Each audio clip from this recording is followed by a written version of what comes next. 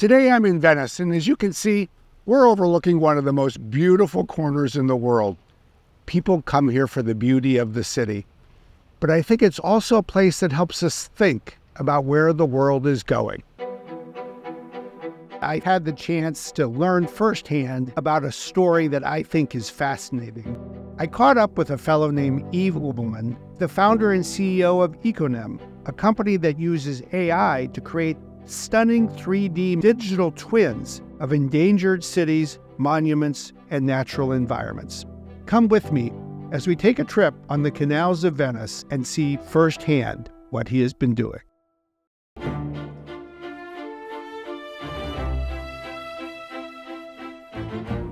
Yves, what brought you into the field of using AI to really help people understand what's happening in the world?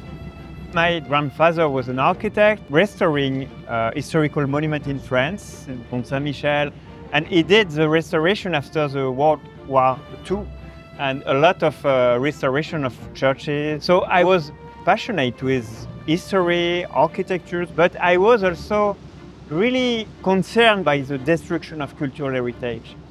And when I started my work, I had the opportunity to come in Afghanistan to follow the work of archaeologists that were digging. And in Afghanistan, there is no possibility to preserve physically these sites because there is a conflict. These sites are remote in the mountain, in the desert. So we find the only solution is to preserve the image of those sites, the memory of those sites. So I was interested in imagery technology, you know, to find a way to be accurate in the documentation we can do on the field. And we started taking some picture on this site in the mountain of Afghanistan, trying to process it, and we had very good results. And I realized that we were able to recreate a full a digital twin of a site. And it's useful for archaeologists because they can work on it, they can create knowledge and expertise on these twins, but also to share these sites to a broad community.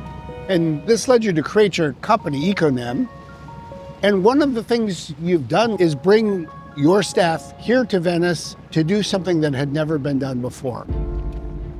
It was during the COVID time we decided to partner together Fondazione dei Musei Civici for a large-scale experiment.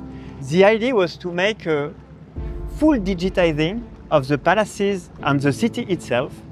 So I was able to bring my team room by room, places by places, square by square in Venice, uh, because there were nobody there. So we spent like one month here taking picture at different levels. Take all the details of the palaces here, the facade. We processed all this data, more than 300,000 pictures. It was the first time we did like a, a digital twin of a city. You captured the city down to, I think, two centimeters. So you can see brick by brick kilometer after kilometer of the buildings and this canal. You see this facade of the building just in front of us. There is eight kilometers of facade. It's a lot. Eight kilometers is not possible for an architect like to make an assessment of each facade, to see the little cracks, to see the little damage. And for us, it was like four hours to take the picture.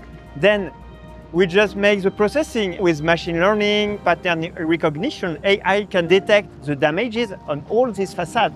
So it's opened really new perspective in terms of conservation for historical buildings. You also really, I think, shined a light on the impact of climate change here. There is a long-term threat in Venice, the sea level rise that will affect the whole city. All the main monuments will be affected by this. And with an accurate digital model of the whole city, you can really have a clear view of what will happen in the future. We can make like a simulation and we can have a better understanding of the future of the city and find the best solution to protect. You're not only bringing this technology and your techniques to a city like Venice, you're bringing it to other continents and sources of nature like the Amazon. What are you trying to accomplish there? This context of climate change, everything, the environment is changing so fast. So we were studying interaction between cultural heritage and natural heritage. And in the Amazon, natural heritage is changing very fast. The vegetation is changing, the, the space is changing. So we wanted to, to see how this change of natural heritage, of biosphere, could affect also the cultural heritage in Colombia. Archaeologists recently found very beautiful painting from 8,000 years ago, Wow. from prehistoric time. And this painting were like protected by the vegetation before, but now it's open to the sky. So you imagine that the rain just affect. So the idea was again to make the full documentation of it and see how we can in the future protect it.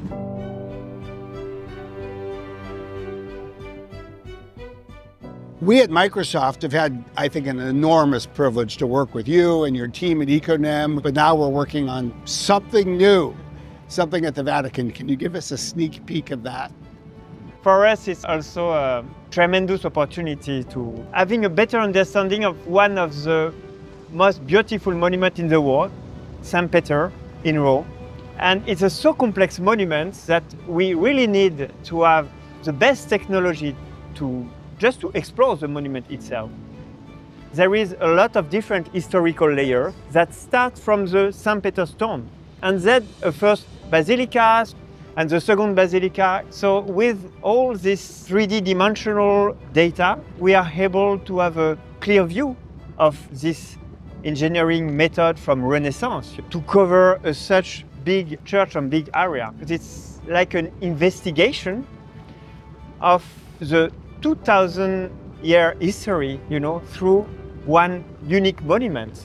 And we can see a lot of new connection between the past of the monument, maybe the future of the monument as well, because this technology also will help all the people to have a better understanding of this place, to share the richness of this architecture, the richness of this history for a broader audience. I find it so fascinating what you're doing because you are using new technology from drones to cameras to AI and just an enormous amount of digital data. But what you're fundamentally doing is advancing human knowledge and expanding our understanding the history of the planet in many ways and the history of humanity and civilization. You're bringing this all together and spreading it around the world. What do you hope people will take away as they learn from what you're sharing with them?